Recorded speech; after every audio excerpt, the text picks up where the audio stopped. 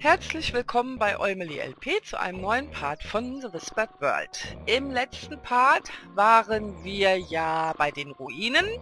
Da gab es ein Erdbeben, dann haben wir uns hier im Wohnwagen umgeschaut, haben ein paar Gespräche mit Ben und dem Opa gehabt. Und jetzt muss ich mal gucken, was haben wir denn eigentlich im Inventar? Warte mal hier. Ah ja, wir haben die Bärenkralle noch abgestoppt. Genau, Bobby wurde äh, entführt, nehme ich mal an, mit Messer und Bomben attackiert. Ähm, die Mütze ist beim Erdbeben runtergefallen. Die Schildkröte hatten wir in der Ruine gefunden und die hat sich irgendwie zusammengefummelt. Keine Ahnung mehr. Den Kescher haben wir, eine Krete haben wir. Haben wir sonst noch was? Ah ja, Karte, Kompass und Gebiss haben wir noch und ein Zettel und eine Schaufel und eine Schatulle. Und mehr ist es dann auch nicht. Das musste ich jetzt erstmal nachgucken, damit ich überhaupt weiß, wo ich gerade so bin. Ähm, ja, genau. Also, Bobby wurde entführt. Wir suchen immer noch nach dieser Shana, die uns äh, die Träume deuten soll. Und ja, äh, haben hier einiges erfahren. Vor allem von der belebten ja, voll belebten Vergangenheit vom Opa, der, wie war es, in einem Tätowierungsshop geheiratet hat und sich Gilsa oder was auf Popo hat tätowieren lassen. Also ich fand das sehr lustig. Ähm, ja, wir suchen die Shana und wir brauchen noch das ein oder andere, um die zu finden, denke ich mal. Hm, wir gehen einfach noch mal los. Komm, Sedwick, Abmarsch. Hi, Spot. Ich finde Spot so süß. Diese kleine Raupe hätte ich auch gerne. So, wir waren schon an dem Baum. Da haben wir festgestellt, wir brauchen irgendwie ein Gefäß, um den Harz aus diesem Baum zu kriegen, wo wir den also diesen Korken reingepackt haben. Bei den Ruinen, ah, da könnten wir jetzt vielleicht mit dem Messer was anfangen, für den Busch da wegzuschnippeln. Wo wir aber auch noch überhaupt nicht waren, ist hier bei den Höhlen.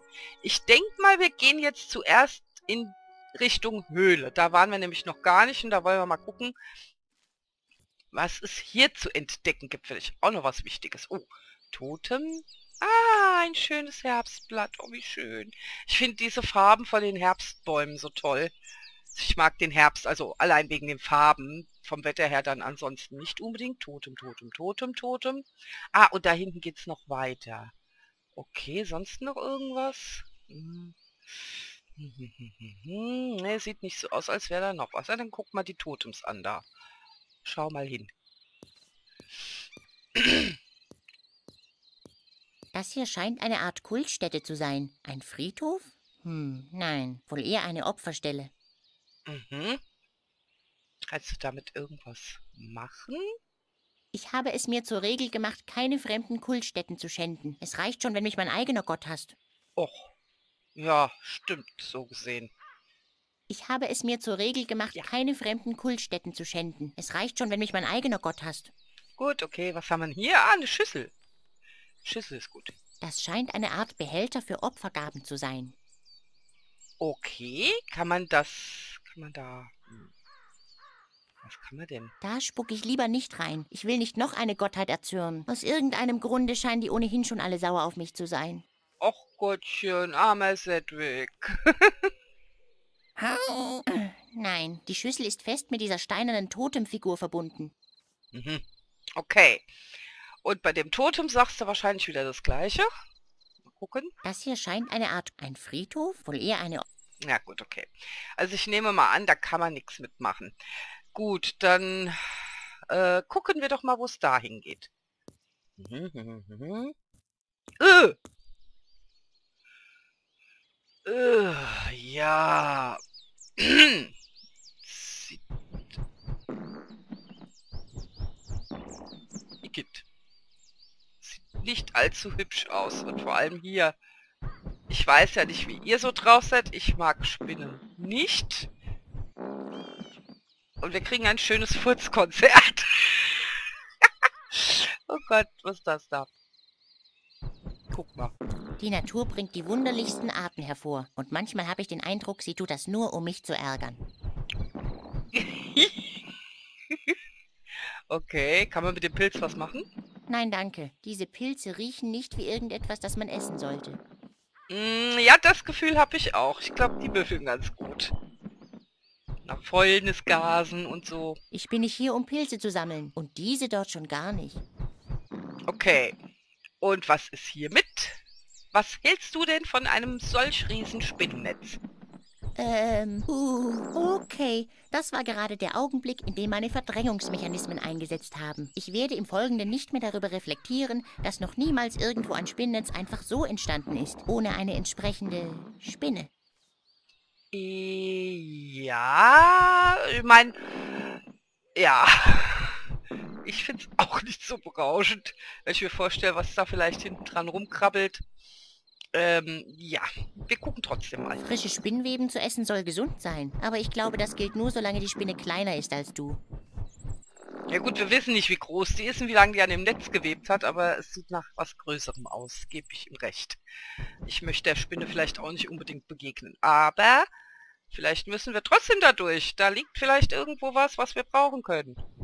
Komm, mach mal. Ja, natürlich würde ich das Netz auch mit bloßen Händen zerreißen. Aber ich habe da diesen Splitter im Finger. Und das Netz sieht wirklich stark aus. Und es hat vor allem nichts mit meiner Spinnenphobie zu tun.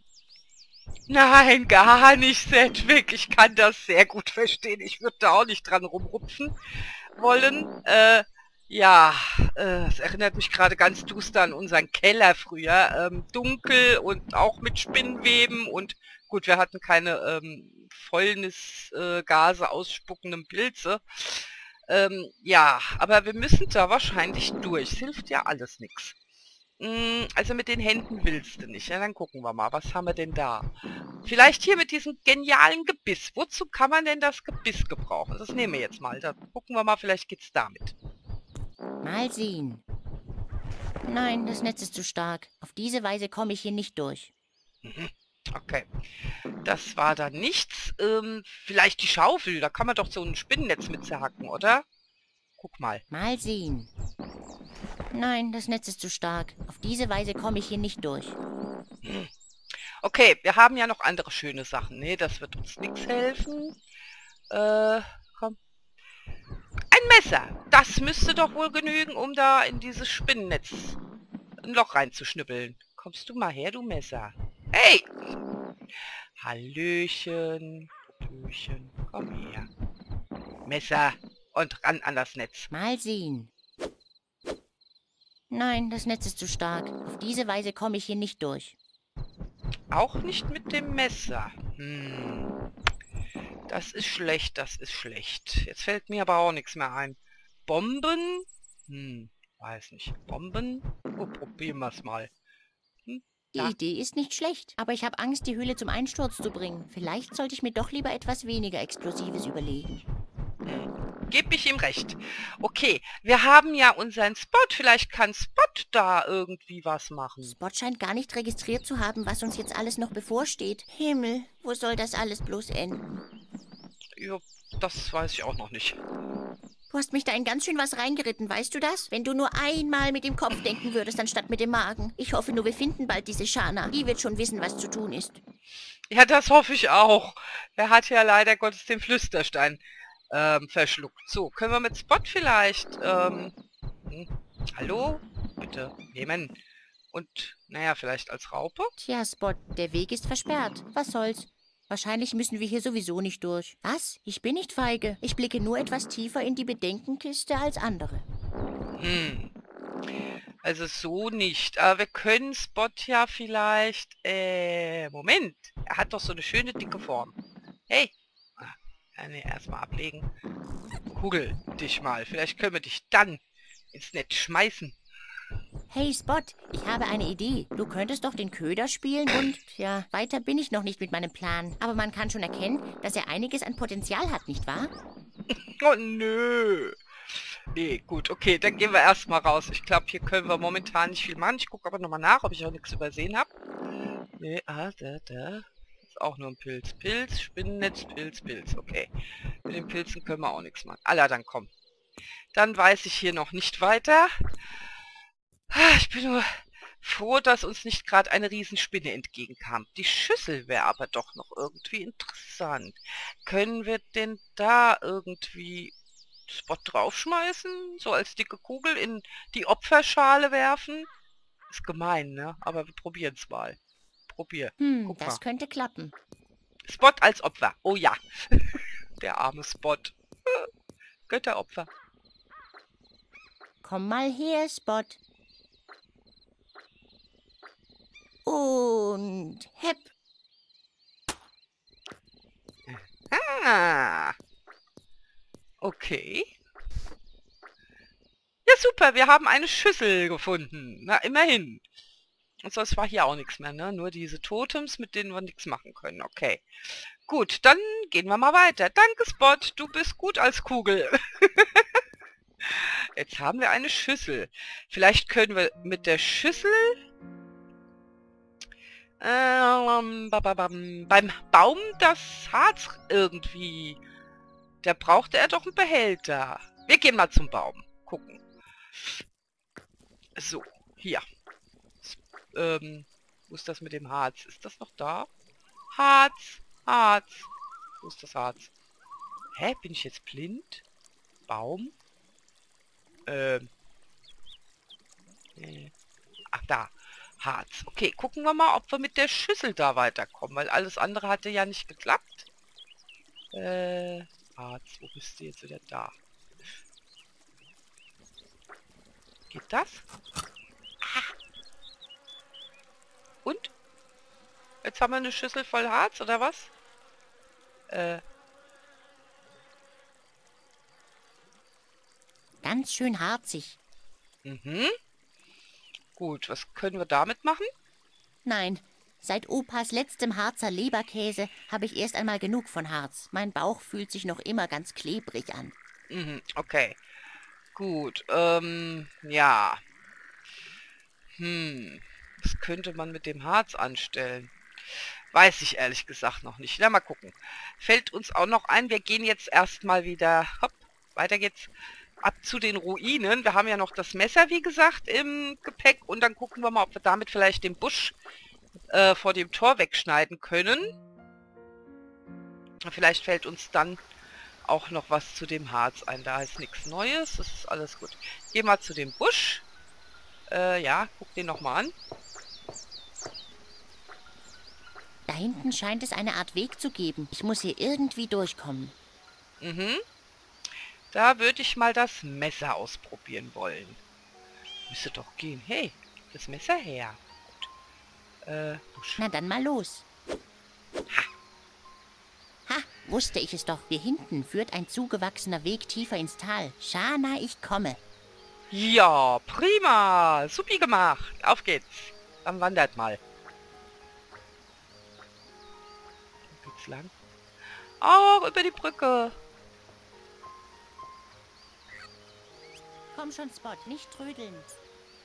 Nicht trödeln. Hm? Erinnert mich an einen bestimmten Film. Nicht trödeln. oh, wo sind wir denn jetzt? Mhm, die Brücke sind wir rüber. Okay. Hm, da qualmt irgendwie. Ach, das ist der Wasserfall. Ich dachte eben schon, was ist das? Ein schöner, riesiger Baum. Irgendwas im Wasser drin? Nö.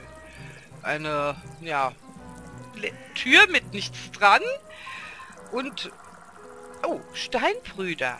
Ja, da gehen wir mal hin. Hm. Komm mal her. Hey, wen haben wir denn da? Was? Wo denn? Ich sehe nichts. Da ist ein Typ im Clownskostüm. Nimm mich nicht schon wieder auf den Arm. Du weißt doch, dass ich mich nicht umdrehen kann. das sprechende Steine? Ob die verzaubert sind, so wie der Frosch im Froschkönig, ähm, der dann doch ein Prinz war, wenn man ihn geküsst hat. Ey, ich finde das, das äh, Spiel das so genial bis jetzt. Na, dann fragen wir mal, wer denn das ist. Wer seid ihr? Wir sind Steine. Ach, ist das so? Ja, ich bin Ralf. Und das da hinten ist Ingo. Er ist mein Halbbruder. Nee, ich bin nicht dein Halbbruder. Ich bin dein Bruder. Ja, aber wir sind zu zweit. Und Bruder geteilt durch zwei, das ergibt Halbbruder. Bist du dir das sicher? Na klar, aber ich kann gerne noch mal auf meinem Rechenschieber nachsehen. Oh, das wäre super. Yep, Halbbrüder, wobei ich mehr Hirn abbekommen habe und du mehr Stein. Und das sagt dir alles der Rechenschieber? Ja, hier steht's. Mann, ich würde auch gerne mal da drauf gucken. So ein Ärger, dass ich mich nicht umdrehen kann. Was sind denn das für Steine? Ich lach mich tot. Äh, ja, also nur mal zur Information. Wenn der Stein nicht gerade in zwei Hälften gespalten worden ist, seid ihr Brüder, ne? Weil, ähm, dann ist das ein Stein und ein Stein. Und nicht äh, ein großer geteilt durch, ne? Also, naja, gut. Egal. Aber einen Rechenschieber habe ich eben auch nicht gesehen. Also, die sind ja echt lustig. Da wollen wir doch mal gucken, was die da so machen. Hm. Was treibt man als Stein denn so den ganzen Tag? Was denkst du denn, was wir tun? Wir tun das, was die meisten Steine so machen. Genau. Wir liegen rum und genießen unser schlichtes Dasein. Das in Ingos Fall besonders schlicht ist. Das klingt fast so langweilig wie im Zirkus zu arbeiten. Wieso denn langweilig? Wir liegen hier rum, genießen die Sonne und trüben kein Wässerchen. Und wir haben auch keinen geheimen Plan. Zu unterjochen oder ähnliches. Ingo! Was denn? Es reicht mir langsam mit dir. Was habe ich denn jetzt schon wieder gemacht? Nichts, aber auch gar nichts kannst du für dich behalten. Ich habe doch gar nichts gesagt. Ich habe doch gar nichts gesagt. Es kommt nie wieder vor. Woher sollte ich denn wissen, dass da eine Prinzessin im Käfig sitzt? Mann, ich habe langsam echt genug von deinen Ausreden. Aber du weißt doch genau, dass wir für unseren Plan noch einen Verbündeten brauchen. Eine mit Beinen. Aber doch nicht so ein Grünschnabel. Also, ja, interessant, was so Steine alles äh, planen, vorhaben oder, äh, ja, ähm, ja, die Welt unterjochen und regieren und keine Ahnung. Hm. Von einem Stein. Naja gut, wenn die sprechen können, wer weiß, was die sonst noch drauf haben. Äh. Die Welt unterjochen? Das klingt nach einer Schnapsidee. Eine Schnapsidee? Und wie nennst du dann deine Entscheidung, heute Morgen diese Mütze aufzusetzen? Eigentlich schlafe ich immer in meinem Kostüm. Du bist schon wirklich seltsam, sagte der sprechende Stein. Jo. Und wie wollt ihr die Welt regieren? Na, wie wohl? Mit steinerner Faust. Genau. Wie auch sonst, sind ja Steine, ne? Okay. Und nur zur Information, ich bin kein Grünschnabel. Siehst du? Er ist kein Grünschnabel. Und ob er einer ist? Einer mit einem besonders grünen Schnabel. Für dich sind alle Beinwesen immer gleich Grünschnäbel. Hey Ingo, was ist denn das da vorne? Wo? Wo? Es scheint meine saftige Wiese zu sein. Oder ein großer Laubfrosch. Ich kann es nicht genau sehen. Es leuchtet so grün. Was ist es? Sag's schon. Hey, Moment. Jetzt kann ich es doch erkennen. Ja, genau. Es ist sein Schnabel. Habt ihr es bald? Ich wollte mich eigentlich noch von anderen Dingen beleidigen lassen. Eine Wurzel, einen Blätterhaufen. Oh, du willst wohl widersprechen? Hm? Du wirst wohl nicht gern für einen Grünschnabel gehalten. Oh ja, ihr habt mich durchschaut. Es ist mir nämlich ausgesprochen wichtig, was zwei Steine am Wegesrand von mir denken. Du könntest uns ja das Gegenteil beweisen. Würde mich sehr wundern, wenn er es schafft. Wir sollten ihm wenigstens eine Chance geben, Ralf. Na gut. Dann stelle ich ihm die Fragen. Auch wenn ich mir sicher bin, dass er sich nur blamieren wird. Wir werden sehen. Und ob wir das werden. Ha, bestimmt denkt er sogar, dass Shana ein mystisches Schlangenwesen ist. Aber Ralf, Shana ist doch ein mystisches Schlangenwesen. Unsinn. Shana ist natürlich ein Vogel. Du irrst dich. Möglich. Mich würde aber interessieren, was unser Grünschnabel denkt. Also, wer ist Shana?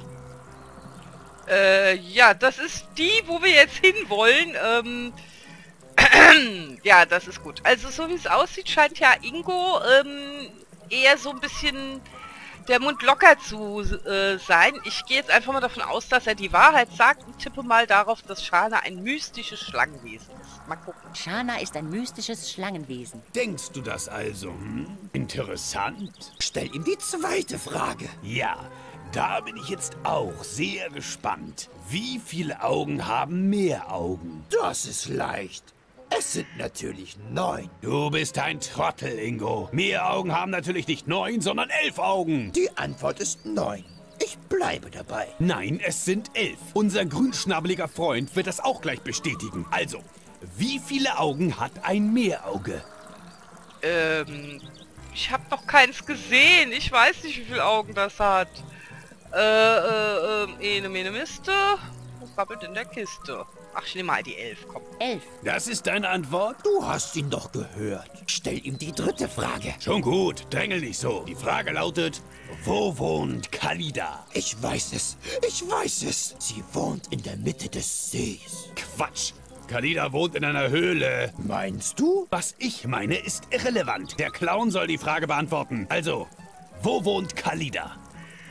Hm, In der Mitte des Sees oder in einer Höhle? Ich könnte mir vorstellen, dass vielleicht ist Kalida das, äh, ähm, was da in der Höhle haust. Die Spinne Kalida oder irgend sowas. Wir sagen mal in der Höhle. In einer Höhle. Ha, du bist ja doch ein Grünschnabel. Ich wusste es immer. Ich glaube, das sind Fangfragen. so, ähm, ja, das wäre doch mal eine schöne Idee. Soll ich euch mal woanders hintragen? Untersteh dich. Wir lassen uns nicht herumschubsen. Von niemandem. Also ich hätte nichts dagegen, ein wenig gedreht zu werden. Ich gucke die ganze Zeit auf diesen Felsen dort drüben. Hast du überhaupt keine Würde? Wir sind Steine. Wir brauchen keine Hilfe. Aber Ralf, der Felsen sieht aus wie das Hinterteil einer Kuh. Außerdem liege ich schon seit Jahren auf einem spitzen Stock. Ich mag aus Stein sein, aber ich habe trotzdem Gefühle. Wir lassen uns nicht rumtragen. Und dabei bleibt es. Also diesen Ralf mag ich ja gar nicht. Am liebsten würde ich den jetzt nehmen und ins Wasser schmeißen. Das wär's doch, oder? Aber wer weiß, vielleicht brauchen wir die noch. Wisst ihr, wo ich Shana finde? Shana, die wohnt in dieser Hütte da hinten. Ähm, du Ralf? Mann, wird die sich freuen. Ähm, du Ralf? Ich glaube, Sie hatte schon seit Jahren keinen Besuch mehr. Stopp mal, welche Hütte denn? Da steht nur eine Tür. Was? So ein Unsinn. nein, Ralf. Er hat recht. Shanas Hütte ist eine Ruine. Schon seit langem. Aber wie konnte das passieren? Erinnerst du dich an diesen schweren Sturm vor acht Jahren, drei Monaten und 25 Tagen? Natürlich, ich bin ein Stein. Ich vergesse nie etwas. Tja, dann erinnerst du dich sicher auch noch an das Erdbeben am nächsten Tag. Und ob? Das war der Tag, an dem meine Termitenfarm kaputt gegangen ist. Verfluchte Erosion. Dann ist das Haus also einem Erdbeben zum Opfer gefallen? Nein, den Termiten. War klar. Okay, Termitenfarm. Ich frage mich, wie er das gemacht hat als Stein. Aber na gut, ich denke mal gerade an die, ähm, wie hieß das, unendliche Geschichte mit dem Felsenbeißer und so. Irgendwie erinnern die zwei Steine mich daran. Wird es halt kleiner sind. Ja gut, okay. Heißt das, Shana wohnt hier nicht mehr? Nein, nein, sie wohnt noch hier. Tut sie das? Ja, In der Hütte, ja, von der nur noch die Tür steht. jetzt hast du's. Oh Mann, ich bekomme schon wieder diese Kopfschmerzen. Okay, probieren wir das Bis doch später. mal. Du weißt ja, wo du uns findest. Wir sind Steine. Wir laufen schon nicht weg. Ja, solange ihr nicht zu fliegenden Steinen oder laufenden Steinen oder was auch immer werdet, ist das ja kein Thema. So, jetzt ähm, gucken wir mal. Ja, gucken wir uns mal die Tür da an. Und hier soll Shana wohnen? Wie soll denn das möglich sein? Hm. Mal sehen.